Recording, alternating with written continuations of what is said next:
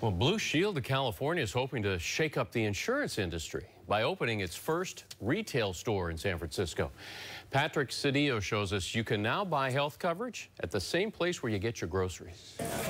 I would have to go on a weekend, wake up early, go to the hospital. It's enough to raise anyone's blood pressure. Staying healthy and finding insurance can be stressful, but Blue Shield is trying a new experiment at the local supermarket. We're here to uh, make access to care much easier and more friendly. Easy and friendly aren't the first things that come to mind to most people when thinking about buying health insurance. But Blue Shield hopes to change that by bringing the insurance store to you. A member could come and talk to a real person about their questions and about their issues and get their answers on the spot. Really convenient because it's right into the grocery store and you can just stop by whenever you want to. Hannah Trias wasn't planning on a checkup today. She was just getting groceries at Lucky Stores and stopped by out of curiosity. One of the perks offered at Blue Shield's first San Francisco store is affordable wellness checks. For Blue Shield members, it's no additional charge.